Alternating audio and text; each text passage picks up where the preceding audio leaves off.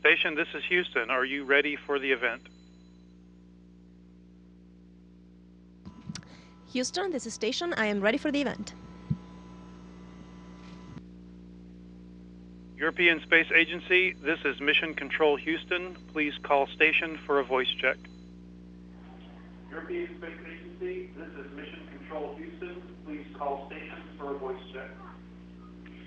Station, this is Isa Piero from ASI headquarters in Rome. How do you hear me? And hello, ESA PAO. Hello, everybody at Ha- ASI headquarters. Welcome aboard. I have you loud and clear. And hello, ESA PAO. Hello, everybody at ASI headquarters. Welcome aboard. I have you loud and clear. Samantha, ti lascio ora la parola a Delfina Bertolotto. To Cristina Bertolotto. Thank you. Ciao Samantha, Hi, Samantha. I'm Cristina Bertolotto. I'm in the uh, auditorium of the Italian Space Agency, and we're celebrating, as you know, the event of closing the uh, national event 2014-2015 Italy Mission X. We have 260 students and 40 stu- and 40 teachers coming from Rome schools, Montecompatri, Matera, Ercolano, and Bisceglie. We have a big participation of participants, students who have been training according to the program for two months and would like to ask you some questions. But first of all, there's something definitely important that uh, we have to talk about.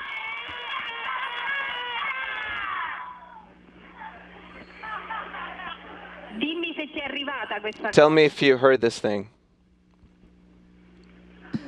Mi è arrivato tanto Uh, calore, all, tanto all I, I got is non a, a lot of warmth, affection, and enthusiasm, but I don't believe I understood the words.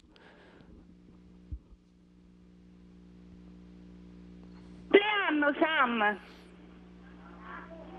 Happy birthday, Sam. Immaginavo, vi I- I figured. Thank Tante you. Grazie. Thank you very much. Best wishes.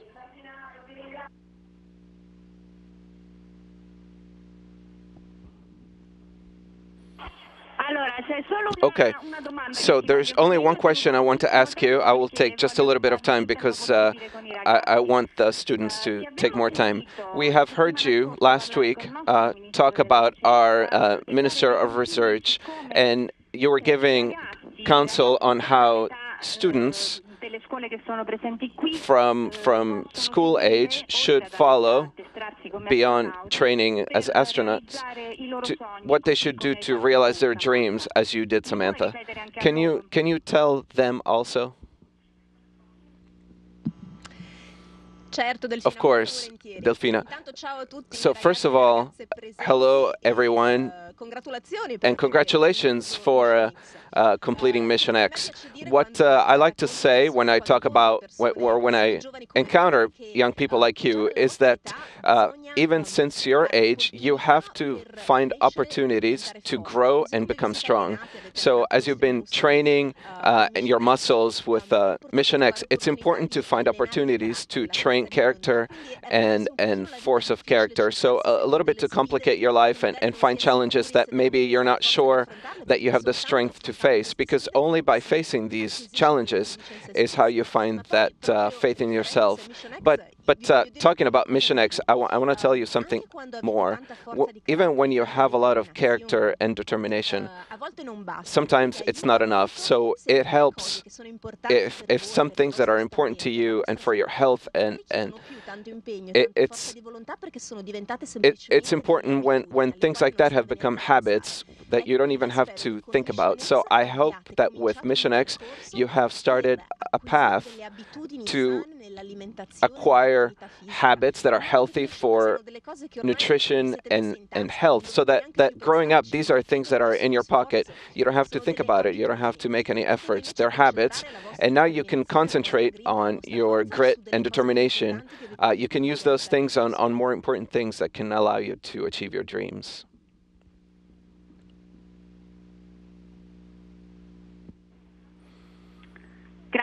Thank you, Samantha. And now i will give the word to the first girl who is going to ask you a question. Hi i'm viola. I come from Belli School, and this is the uh, question we have made. Considering that you're in space now since over four months, and Earth you will only see from a window, what do you miss the most from the blue planet? And do you uh, are you able to stay on track with what's going on on Earth? Ciao Viola. Hi, Viola. We are hyper connected up here, I have to say. We have internet access, even though it's a little limited. But they send us uh, news and, and newscasts if we want to watch them. Usually the ones from the day before, so we're, we're always a little bit late. And of course, we have to, uh, we can talk to our loved ones, families, um, via telephone or email. So, so let's say that we, we don't miss contact with what's going on on Earth. Of course, you don't have the physical presence, the smells, the the the taste, the, and the the immediate presence of your loved ones and your family. So these are the things that you miss a little bit. But uh, I have to say, I love life up here, so I, I tend to not dwell uh, so much on uh, on these things.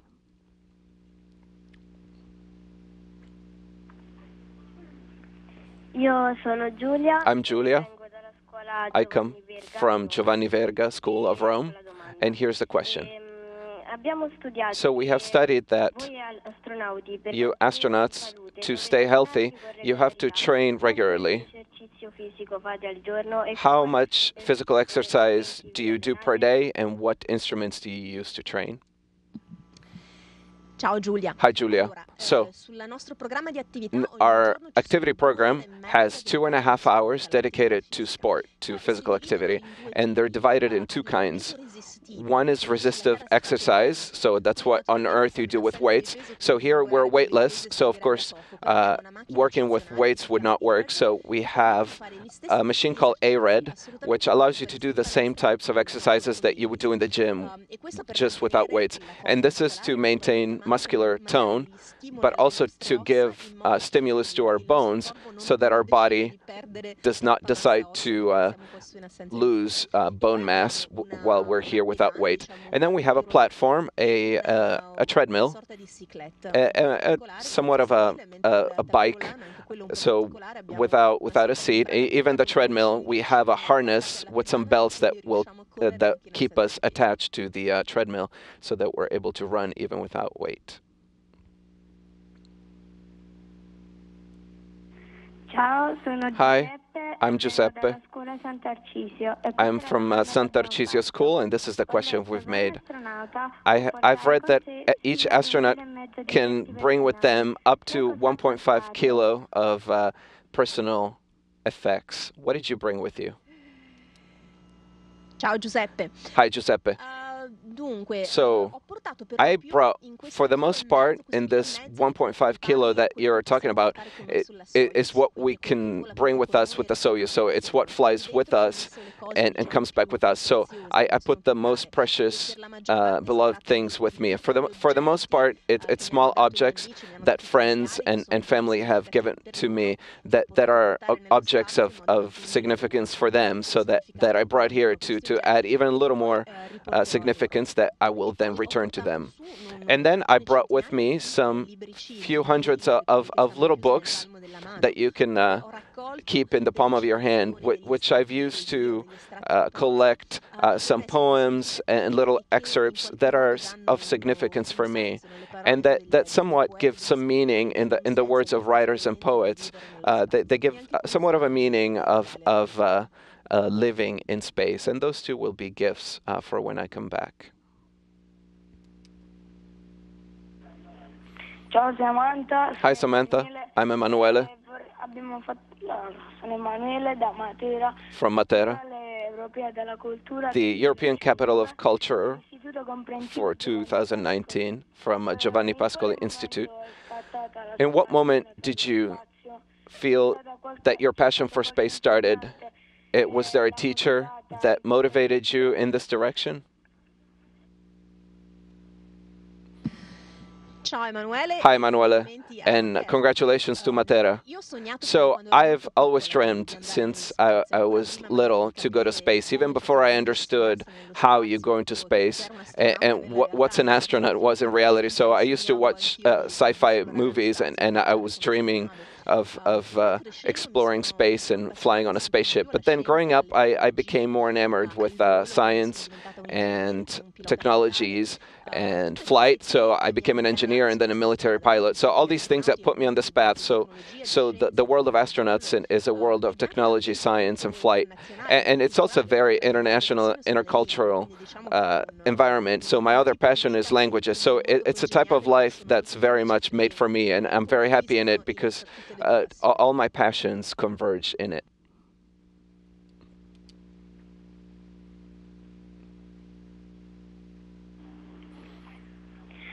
Ciao Samantha. Hi, Samantha. Sono I'm Matteo from the uh, Comprehensive Institute Visconti of Rome, and this is the question that I wanted to ask you. So, throughout your uh, path to become an astronaut, uh, did you find any obstacles, and, and when they when they seemed like they were unsurmountable, did you think about uh, giving up? And and if not, how did you find solutions to your problems? Ciao Matteo. Hi, Matteo. It's an interesting question. I don't think I've ever had any obstacles that seemed unsurmountable, but also perhaps because mentally I've never accepted that an obstacle would be unsurmountable. There might be difficulties. It can require, you know, Facing an obstacle can, can require sacrifice and, and effort, but, but let's say that in my head, nothing was ever unsurmountable. So, and almost always it's like that. I, I really believe, especially when you're very young like you, that, that you can face life and difficulties with, with faith in yourself, that, that a solution with effort and a little bit of, of effort uh, you can find. So don't ever think about giving up because uh, this way you'll never achieve uh, important objectives.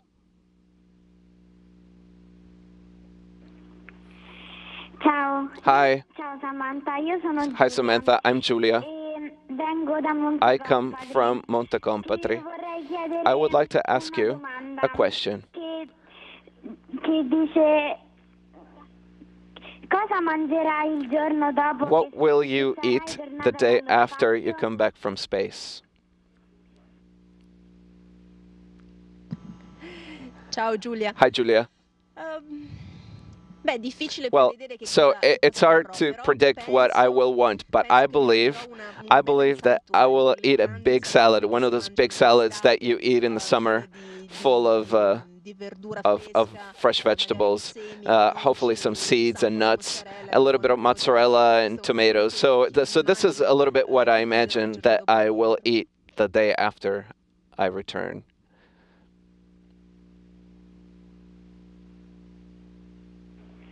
Ciao, sono Francesca. Hi, I'm Francesca from the. Comprehensive Institute, uh. Institute uh, Minozzi of Matera. So here's a question. Here on Earth, we take everything for granted. We're used to Cosa ci serve per vivere bene? we're used to having everything and everyone that we need right here. When you're far away from everything and everyone, do you feel that you're able to appreciate more the value of every single thing? Ciao Francesca. Hi, Francesca. Ehm, ma un po' ti Well, so a little bit you understand that a lot of things and a lot of uh, commodities that you have on earth that uh, you believe are essential, important, that you can't live without, then in the end, they're not so important after all. You, you adapt to living very easily and, and, and living in a more Spartan way with, with less amenities. So it's just a question of adapting and, and of, of being a little more flexible. And, and, and you live uh, really with serenity, with without a lot of things. So I say when you're here, it's like camping. Um, you have to adapt, but it's kind of a luxury camping because uh, you have you have a, a, a lot of things at your disposal. You know, we don't have running water, but we have a toilet. Uh, we have a great variety of foods and, and, and beverages. We have a little bit of room to sleep. So at the end, it's not such an uncomfortable life. You just have to adapt a little.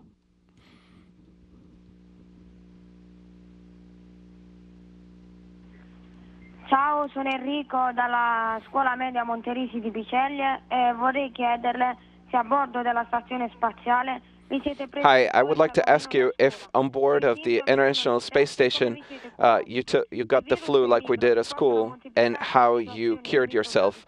So the virus, uh, can the virus uh, spread in situations of microgravity. Hi, Enrico. The, uh, the question is interesting. So the, the answer is no, we did not get the flu because the vi- uh, flu virus is not here on board. We're, we're very careful every time that a new vehicle arrives. Uh, we're, we're careful that uh, people don't bring uh, something like the flu or, or even another um, uh, microbiological cargo. So we test the air, surfaces, and water. We continuously test to make sure that there's no contamination. But your question is interesting in another way. It's true that we've made experiments with with uh, pathogens, uh, also viruses, and, and we've verified that uh, in weightlessness they're they're much more virulent and aggressive, A- and this is uh, it goes hand in hand with uh, an Im- immune depression. Um, so our, our immune system of animals and human beings it's compromised up here. So it's it's surely thinking about uh, future missions and exploration. It's something that we need to study and go into in depth because we have stronger pathogens and and a weaker immune system, which is not a very happy combination. Ciao Samantha, sono Giada dell'Istituto Hi, Samantha. I'm Jada from uh, the Comprehensive Institute Al Samurante. I wanted to ask you if throughout all these months on board the space station you missed your family. Ciao Giada. Hi, Jada.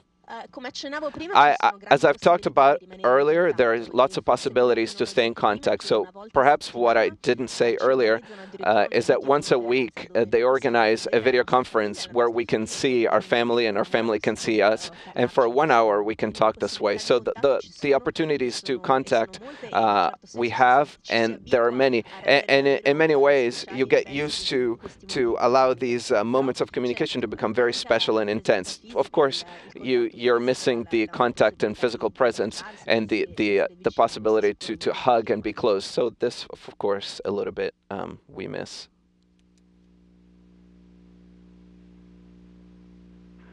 Hi, Samantha. I'm Davide from the uh, Comprehensive Institute Volterra di Riccia, and I would uh, I would like to ask you about what you do during your uh, rest periods. Ciao Davide. Hi, Davide. Abbiamo So we don't have a lot of free time, especially during the week. I have to say that the days are very full, and, and you get to evening and and you eat, and perhaps you uh, call the family, you write a couple of emails, and, and at least I'm tired, so I, I sleep like a stone afterwards.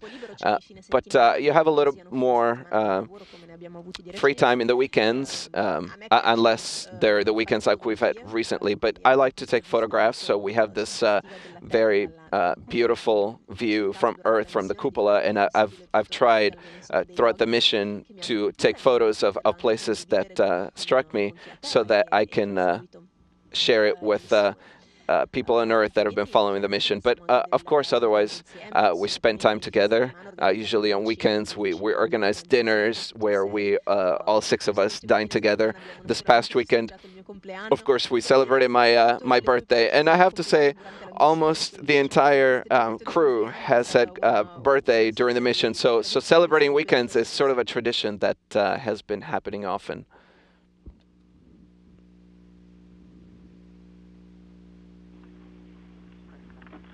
Ciao Samantha. eh, Hi, Samantha. This is Flavio. Bocconi di Roma. From the Comprehensive Institute of Rome. Uh, I would like to know how you recycle the uh, useful substances and how you get rid of waste.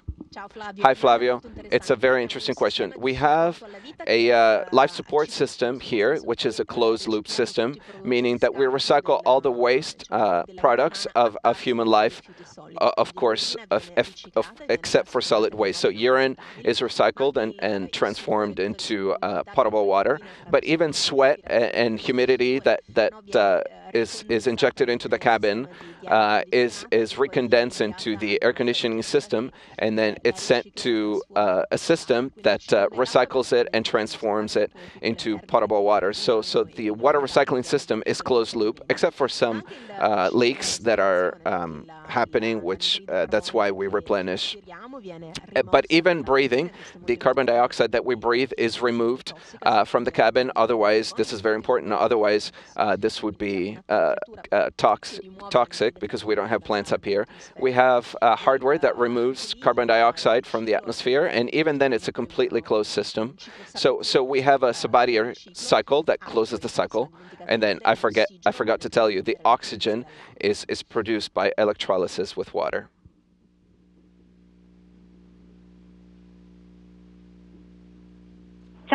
Hi, Samantha. This is uh, the end of the, this link. Uh, we thank you so much for being with us today. All the uh, Mission X uh, boys and girls wish you a happy birthday. Grazie, grazie. Thank you. Delfina, grazie a tutti Thank you, i ragazzi le Delfina. ragazze di Mission X, anche Thank you to all the boys and girls of Mission X and a greeting from Paxi. Bye.